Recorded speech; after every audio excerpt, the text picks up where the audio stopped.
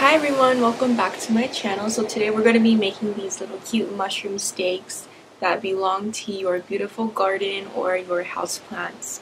They will keep them company and they're also easy to make so you can go ahead and follow through how I make these if you want to or you can purchase these on my Etsy shop. Um, the link will be in my description box. Also you can follow me on Instagram and TikTok. They're both called Magicktruffle. They're both in my description box as well. So anyways, let's get through with this video.